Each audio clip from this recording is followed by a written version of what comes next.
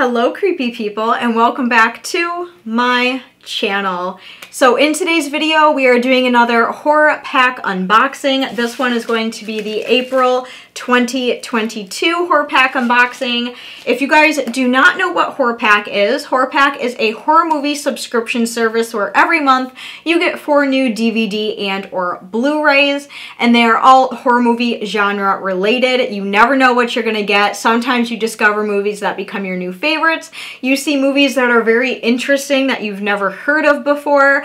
All around, it's a really good time. And I know a few of my viewers really enjoy seeing these videos, so I continue to do them for you guys, but it really is a lot of fun. I have discovered a lot of new favorite movies from doing these. I cannot wait to see what the April pack has in store for us. It is always a huge surprise every single month. I love it. So if any of you guys are interested in checking out Horror Pack for yourself, I will have a link right at the top of the description box. Don't worry, it is not an affiliate link. I'm not making any money off of your clicks. It's just a link for you guys to easily click, check out the site, and see it is see if it is something that you are interested in joining. So yes, let's go ahead and jump into it. Like I said, we are going to be doing the April unboxing today. But before we do that, I do want to talk about the March 22 movies that we got. Uh, there's four of them here. I just want to go over, oh my god, I just spit everywhere. So we're going to be talking about these movies a little bit. I'm going to go over my reviews of them, and then the second half of this video is going to be unboxing the new movies. So without further ado, let's go ahead and get creepy. Well, the first movie I want to talk about is The Crucible of Horror. I gave this one three out of five stars. The first thing that I found to be absolutely terrible about this movie is the sound quality. Oh my gosh. Like the visual quality of it was okay. This is a very, very old movie. This was made in 1971. So it is an older movie and it is converted into Blu-ray. So it visually looked okay, but the sound quality was absolutely horrible. I had to turn it up with subtitles on, and even with the subtitles, they weren't really accurate, and it was really hard to understand. Basically, this movie is all about a family, a wife, a father, and a daughter, and a brother.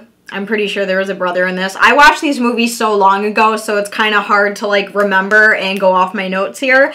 But the dad in this movie is a super uptight asshole with a lot of OCD tendencies. He holds really, really high expectations for his family. And throughout, you know, living like this, his wife Edith and his daughter Jane are becoming really fed up with him, the way he treats them, the way he beats on them, the way he acts with them. Like they're just kind of really fed up and they need to come up with a plan to get get rid of the father. Of course, they want to make it look like an accident. One weekend, the father decides to go up to their cabin just to kind of have a hunting trip, a secluded hunting trip, and he invites his wife and daughter to go with them, but they're like, no, like, we're not interested, we might come up later.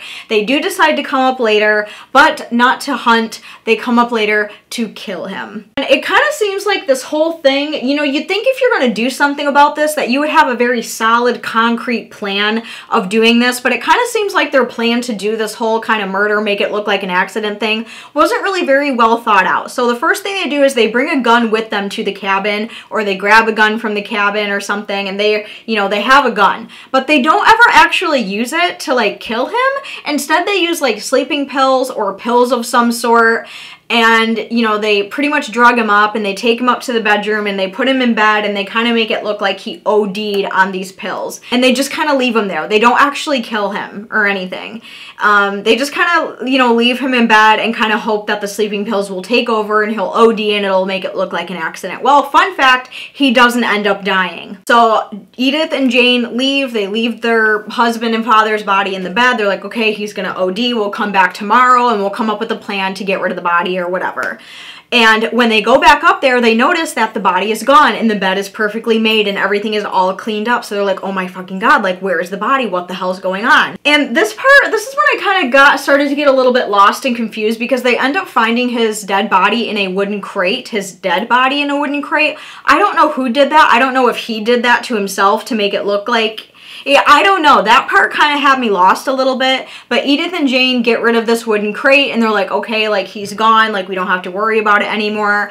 I don't know who put his body in that crate, but it's not our problem. We got rid of the crate. He's gone. We can live our life. Yippee-ki-yay. And then once Edith and Jane go back home and they're like, okay, we're going to stay here. Like we're not going to move. We want to stay in our house. Like life is going to be so much better. And a couple days later, the father shows up back at the house. I was shocked because I, like, this whole time I thought he was actually dead, but he wasn't. He was still alive, and he comes back to the house. He beats up Jane pretty good, and I'm pretty sure he kills Edith, his wife. And basically, the movie ends with pretty much everything going back to normal. You know, Jane is absolutely terrified of him and miserable, and it, it's kind of, it's, it's it's very unclear whether or not the father really did kill the wife or not because at the end of the movie it almost looks like her ghost is there but he's not talking to her or he is talking to her but she's not really there. It was just a very interesting movie. It's very very odd. The next movie i want to talk about is the horror pack limited edition and that was the movie freak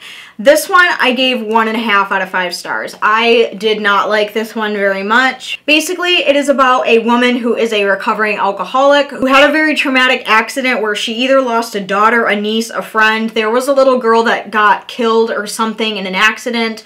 So for her recovery, she decides to leave Los Angeles and go to a cabin in Pennsylvania, I'm pretty sure. Just to kind of get away, have a low time, detox, you know, really just kind of be in nature and not have any sort of outside influence affecting her. And soon, soon thereafter arriving to this cabin, she starts to become haunted with these just weird things about the incident, like weird things start happening. It's also like, it's also very weird because there's like this weird like cult connection that is in the basement or some sort of satanic thing that's going on in the basement and she ends up becoming a, a victim to it and it does have a couple of jump scares but other than that the movie was extremely boring and disappointing. It didn't really make a whole lot of sense. The plot was just kind of like oh okay oh oh okay like it wasn't very consistent throughout. The one thing that I really hated about this movie is there was no option for subtitles. I am someone that no matter what nowadays I always watch things with subtitles on. TV shows movies I always have subtitles. And the fact that there was no option for for subtitles in this movie was very, very disappointing because I had a really hard time understanding what they were saying. Also, one thing that I really found annoying is that the phone in the cabin kept ringing. Like, people were constantly calling her. So it was like a little bit of dialogue, a little bit of backstory, and then just constant phone ringing. Like, it was very annoying. The next movie that I want to talk about is VFW with Stephen Lang. He is the guy who plays in Don't Breathe. I did confirm that. Uh, I think he is a really great actor. And when I gave you guys the description of this movie and when I watched it, this movie is literally just as described as it is on the back because you know how you read the back of a movie and you're like, oh, okay, and then you watch it and it's kind of completely different. This one was like spot on. Like what you read on the back is exactly what you're gonna see. I gave this one three out of five stars. It is about a group of veterans, whether they, you know, were in a war or vets of some sort, get together at their VFW location. Like, you know, most VFWs, they hang out, they talk, they have couple beers, couple mixed drinks, you just kind of do what vets do, you know what I mean? And not too far away, there was like this drug pen where a bunch of druggies go and do drugs, and there's like this leader of this drug ring and he ends up killing a girl and it ends up being this other girl's sister. The sister who got killed is named Lucy and her sister finds out that Lucy is dead and this girl wants to get revenge for this guy for killing her sister so what she decides to do, what she thinks would be a good thing to do, is she decides to steal a giant brick of his drugs. I don't know if it was like cocaine or meth or something, I don't really know, and put it in her backpack and just take off running. And she ends up making her way to the VFW where all of these guys are and they're like, what the hell's going on? Like, what are you doing in here? And she explains the whole situation and all of the drug people are like coming in on the VFW so they have to barricade it and they have to, you know, not only protect their VFW location but protect this girl, protect themselves, their friends just like it a quiet night at the VFW quickly turned into chaos real quick. And spoiler alert in the end the VFW guys they do end up getting their revenge even though they lose about four or five of their guys. Um, it was it was an okay movie definitely not a horror movie. This is not a horror movie. This is definitely more of like a drama thriller, you know, and it was just okay. I wasn't like blown away by it by any means, but it was okay. And then the very last movie that I want to talk about is One-Eyed Girl. This one I gave 3.8 out of 5 stars. This one was probably the best one out of the bunch. It is about a psychologist. His name is Dr. Bell, and it kind of goes into a background a little bit about his life, and what I picked up from it is that he had a intimate physical romantic relationship with a patient named Rachel. Naughty, naughty! you can't do that. And something happens to Rachel and she ends up dying. So now Dr. Bell is really suffering on the inside. Like he doesn't know how to handle he, these emotions, even though he's a psychologist. Psychologists also struggle too, my friends. It's not easy peasy all the way around. You know, he's suffering with the consequences of his actions. You know, he fraternized with a patient. He lost her and now he's struggling. He has addictions. You know, he's taking a bunch of pills and alcohol and he comes across this church while he's out on a walk and it's supposed to be like you know finding yourself and getting rid of your pain very quickly it turns out to be a, a cult basically where they help people you know find themselves and get rid of the pain and people who are suffering with addiction just major like super creepy cliche cult vibes with this movie for sure. Dr bell ends up getting involved with this cult and you know in the beginning he's really suffering and he wants to leave but eventually you know he makes his way out of his addiction. He starts to feel better. He feels himself feeling again and he starts to feel like himself again and everything is starting to make sense to him now. Like with all cults is they do almost always intend to implode on themselves and this is when Dr. Bell starts to see that something isn't right with this cult and he's starting to realize that all these people are completely brainwashed by the leader of this cult who his name is Jay. He's the leader of all of this. And that Jay is very evil and he's very damaging to these people and he wants to do something about it. So Jay ends up getting murdered by one of the other cult members that he actually assaulted. And one of the female members, you know, gets really upset that the leader is gone and she wants to kind of like take over his legacy and bring more people into this cult. And Dr. Bell is like, okay, like this is fucked. Like I need to put a stop to this right now. The ending is actually kind of sad because Dr. Bell ends up getting murdered in the end when in, you know, he, he wanted to help these people, you know, he wanted to better these people's lives. And in the end, he just ends up dying. So it's just a very tragic, sad story. But this was not a bad movie. I actually kind of enjoyed this one. Guys, and those were all of the reviews for the March 2022 movies. And now we can get into the good stuff. The new movies for April 2022. I am very excited. Now, I went with the Blu-ray pack. I always go with the Blu-ray pack because my Blu-ray collection is a lot smaller than my DVD collection. So I just like to build up with a bunch of Blu-rays. So we're just gonna open this up and we're gonna get started. I have no idea what we're gonna get. All right, so as you can see on the inside, we have four new Blu-rays in here, and I think I'm going to start on the very bottom. So the first movie that we got for April 2022 is... Okay. So this movie is from the creator of Final Destination, and this is called The Final Wish. And I'm seeing a lot of, I'm seeing a lot of familiar faces, this being one of them. Uh, Lin Shaye, I think that's her name. Uh, we see her in a lot of horror movies, Nightmare on Elm Street, Insidious. I have never heard of this movie before. So I'm very curious about it, but I do love Lin Shaye. I thought, I think she's fabulous in horror movies. I think she always does a really good job. Um, this one was made in 2018. It is about 96 minutes long, and on the back it says, From the creator of the Final Destination franchise comes a new twisted tale of death. With the unexpected passing of his father, Aaron tries to come to terms with his grief while supporting his devastated mother. Sifting through his father's belongings, Aaron comes upon an urn that is far more than it seems. His wants and wishes start coming true, Aaron thinks his prayers have been answered until he realizes the price of his good fortune is much more than he bargained for. Okay, so okay, this doesn't sound too bad. Let me know, have any of you guys ever seen this movie? I'm very interested in it. Definitely sounds like something right up my alleys. Okay, the second movie that I'm going to take is I'm going to take the one right from the middle.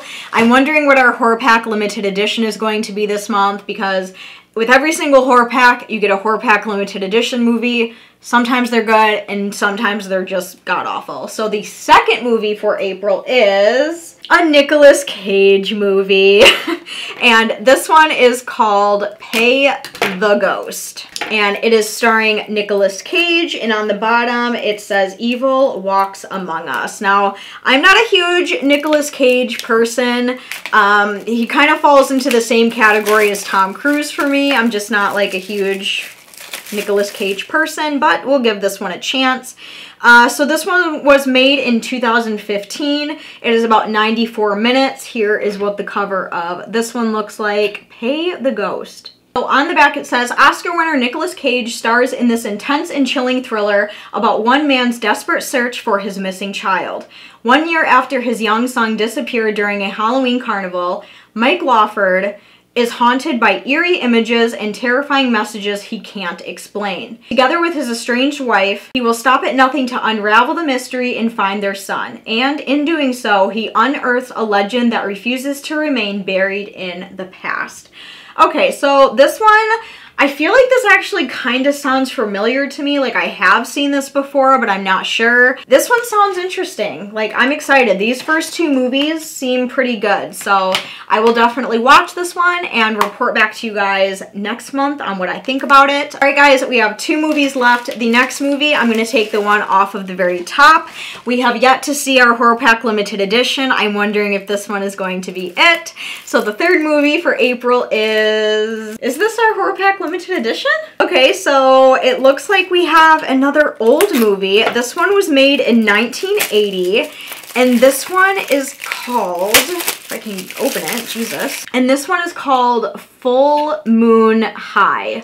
He's today's teenage werewolf, only the rules have changed. And like I said, this was made in 1980. Oh, down here it says 1980, but then over here it says 1981. So either one of those, it is about 93 minutes. Okay, I don't think this is our Horror Pack Limited Edition. I just think this is like an 80s horror film. I don't know. Let's go ahead and see what it says on the back. So on the back it says, the problems of a typical high school teenager take on monstrous proportions in this comical send-up of horror movies. The most important thing to quarterback Tony Walker is to win the big game against arch-rival Simpson High. But this plan soon changes when Tony is bitten by a werewolf, and that's when things really start to get hairy. Ha ha ha. Now, whenever there's a full moon, he transforms into a growling beast that hungrily chases down beautiful girls.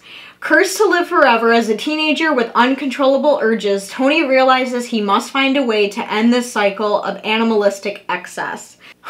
okay, this sounds like a typical cheesy 80s movie, but I'm kind of living for it. I'm kind of excited to see this one. I think the cover art is actually freaking adorable. I don't know. This just looks really cute. Like, I don't know. I, I love the bats. It's cute. Okay, we all know this one's to be cheesy as all get out, okay? So that is the third one. And the final movie for April 2022 is, I'm guessing, going to be our horror pack.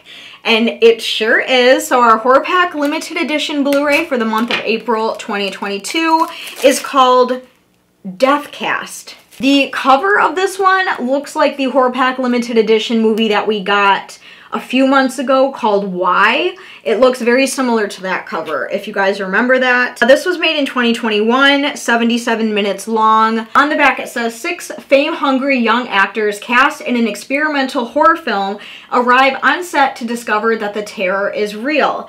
One by one, the actors become the victims as the killer goes off script and real blood begins to flow. Okay, so that actually sounds really good. I feel like they've made a movie like this before, like a more mainstream movie like this. Can't think of the name of it to save my life, but this one sounds good. I like the concept of that one. But the thing with Horror Pack is they are very, very low budget films. Um, the acting usually isn't that great. But of course, as always, I will take one for the team. I will watch this one. I will check it out and of course report back to you guys on what I think about this. Hopefully it'll be better than the one that we got in March. Fingers crossed. All right, guys, and those were all of the movies that we got for April 2022. Let me know down below, have you seen any of these movies? What did you think about them? Do you think I'm going to like any of these movies? If you guys enjoyed this video and you're a horror movie fan like myself, make sure you go down and give this video a huge thumbs up. I would greatly appreciate it. And I will see you guys soon with another video. If you are new to my channel and this is the first video of mine that you are seeing, make sure you go down and hit that red subscribe button. I do upload every three to four, sometimes five days here here. I love you guys so very much. Thank you for watching. Stay creepy, and I will see you very soon in my next video. I love you guys. Bye. Mwah.